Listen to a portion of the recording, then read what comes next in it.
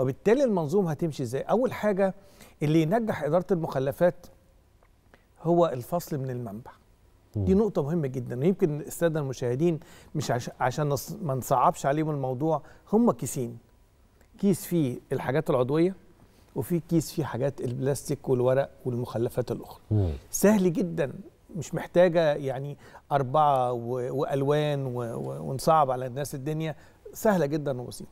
بس نخلي بالنا المخلفات العضوية دي ما نحطش أكل.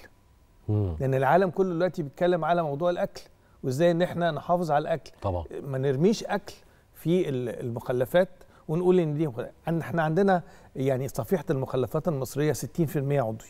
مم. وده رقم كبير. كبير. كبير. فده معناه في إهدار كبير للغذاء. بالظبط. في إهدار للغذاء. يمكن آه يعني ال- المنظومة بتاعت اسكندرية اللي هي ال- اللي بدأت المنظومة الذكية حسبوا إن تقريبا آه بيطلع مواد غذائية حوالي آه آه يعني نص كيلو إلا شوية وده رقم كبير. كل يوم؟ يعني ده البيت الواحد. بالظبط. فده رقم كبير. طبعا إحنا بن- بنقيس بقى إيه كل اللي بيطلع على عدد السكان. طبعا في ناس أسر. بس- بسطاء وكل حاجة و...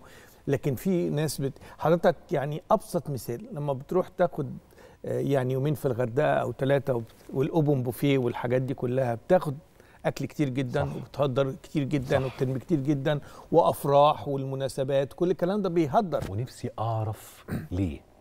open buffet آه، اهو بالظبط. حضرتك خد اللي أنت عايزه كل ما يخلص قوم هات تاني. لا. مش معقول مستكتر العشر خطوات.